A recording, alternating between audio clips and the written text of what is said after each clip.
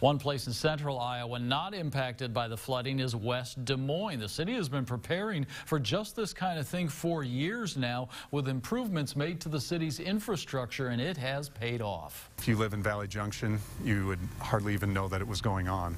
Um, it it, it's, it's helped us significantly. Uh, we haven't had a, a flood to the point where we're, we're worried that we're going to have a breach or we're even close to being uh, to a point where we need to be nervous about it.